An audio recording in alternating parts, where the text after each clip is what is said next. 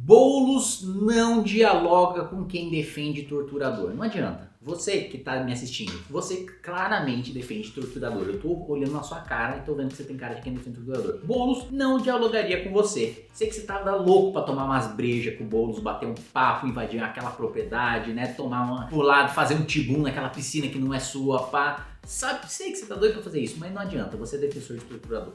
Muito bem, antes de continuar esse vídeo, eu peço que vocês é, se inscrevam no canal, vai se inscrever no canal.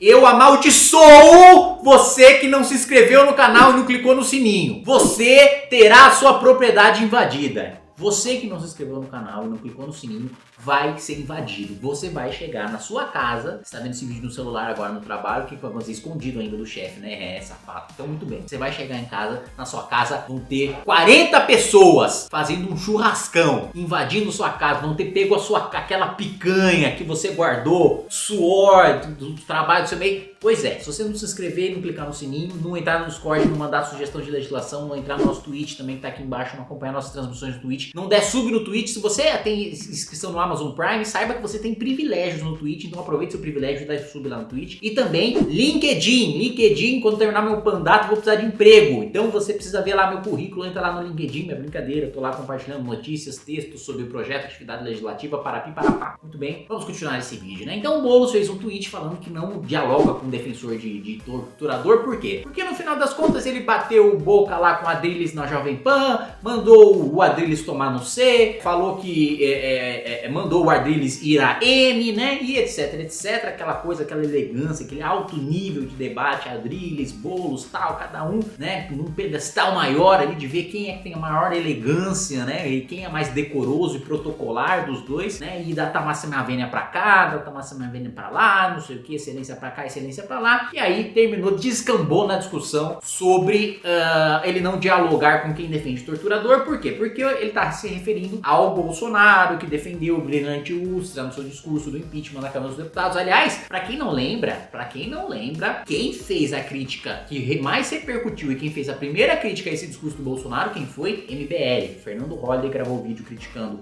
tanto o Bolsonaro como outro deputado que nem lembro quem que era, que tinha elogiado Marighella e o, e o Bolsonaro elogiou o Ustra. E esses votos é que eu quero destacar aqui. Bom, o primeiro deles foi do deputado Glauber Braga, do PSOL do Rio de Janeiro.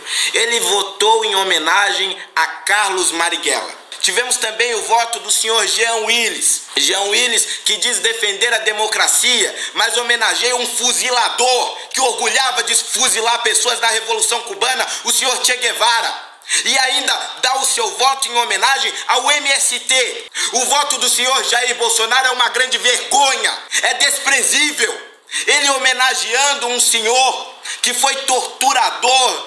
Criticamos ambos. Pra quem fala, mas já começou quem falar do Bolsonaro só depois do primeiro ano de mandato, antes não falava nada, papapi, papapá. Vai lá, e vê e assiste, né? E saiba que a gente sempre criticou é, erros e condutas erradas de, de Jair Bolsonaro e, enfim, os absurdos que ele falava e sempre falou. Muito bem. Dito isso, por que, que o título do vídeo vai falar? Então é a hipocrisia de Guilherme Boulos, é o título do vídeo. Por quê? Porque ele é um hipócrita. Ele fala que não dialoga com quem defende torturador, mas ao mesmo tempo tava na sua prateleira, dá pra ver, quando eu debati com ele, quando ele debateu com a Dilis ali na Jovem Pan, vou pedir pro editor colocar foto foto, prateleira de Guilherme Boulos. Atrás, Getúlio. Getúlio Vargas foi um ditador que perseguiu, que mandou brasileiros como prisioneiros pro regime fascista de Benito Mussolini. É esse o senhor que o Boulos bate no peito e defende. É, direito dos trabalhadores, pá, esse cara foi firme. Viva pai Getúlio. É esse cara, esse cara ele era um, era um crápula, né? Esse cara é um fascista da pior espécie, mas é idolatrado pelas esquerdas por causa da CLT, né? idolatrado pelas esquerdas pelo populismo barato, né? de utilizar os pobres como um instrumento, como uma coisa, como um objeto ali de, de manipulação para um negócio mais escroto que tem é você instrumentalizar as pessoas mais pobres em nome de um projeto populista de poder como Getúlio fez e as esquerdas, ah, é uma maravilha, né? Endesam ele, endesam Brizola também, outro lixo, destruiu o Rio de Janeiro, né? Fez pior programa social da história do Rio de Janeiro foi o governo Brizola, mas isso é assunto para outro vídeo. Ao mesmo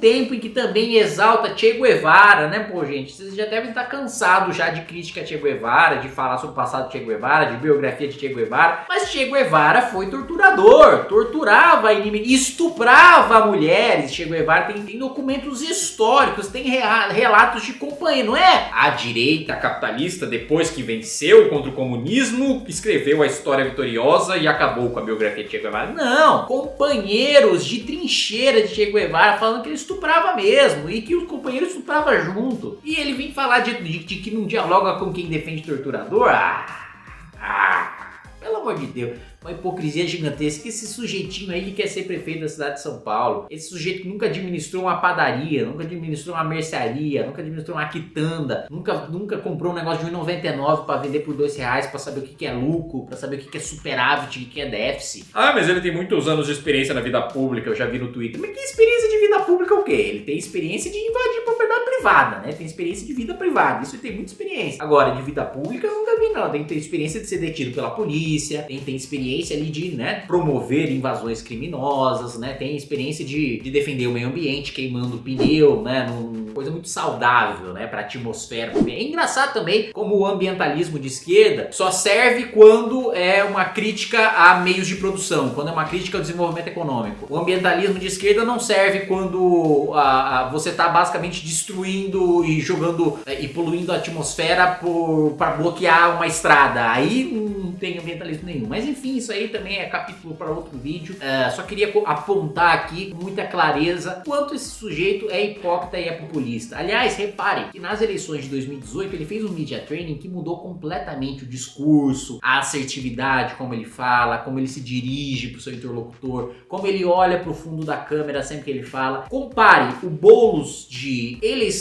2018 e depois para pré-eleição 2018. É um cara que sentou, fez assim uma zaralhada de media training. Aí outra coisa, né? O cara que quer administrar a cidade de São Paulo e que diz que tem né, vários anos de experiência na vida pública e tal, e professor e doutor e etc, não sei o que, e que tem declarado lá, sei lá, um Corsa, 16 mil reais, né? Falou, meu, meu amigo, você tem ali seus 30, 40 anos de idade, depois de uma carreira bem sucedida, tão dita bem sucedida, a única coisa que você tem para declarar é um carro de 16 mil reais e você quer administrar a maior cidade da América Latina, pelo amor de Deus, né? Tô falando que você precisa ser rico para administrar São Paulo, mas o mínimo, né, de gestão patrimonial, de finanças, sabe? É economia pessoal, finança doméstica, você precisa saber, né? Né? Em vez de você só ficar andando com um carrão em segurança, que eu já vi andando com um carrão em segurança, pago sei lá como, né? Se é, se é os patrocínio, né? Que os pais do bolo são ricos, todo mundo sabe disso. É, ou se é dinheiro de fundo é, partidário, do, do PSOL, não sei de onde é que é. Mas, né, pelo menos, né? Você deveria ter um meio de subsistência próprio né? e demonstrar isso quando vai disputar a eleição, em vez de bater no peito, ó, oh, tá vendo como eu represento os pobres, estou aqui com meu carro de 16 mil reais declarado. Meu amigo, você só tem o patrimônio dos seus pais, isso aí não é ser pobre, isso aí é ser playboy playboy, né? Quando você declara lá dependente dos pais, é playboy. Isso aí não é ser pobre, coitadinho. Muito bem. É isso, meus amigos. Até mais e que vocês fiquem com a paz de bolo no seu coração.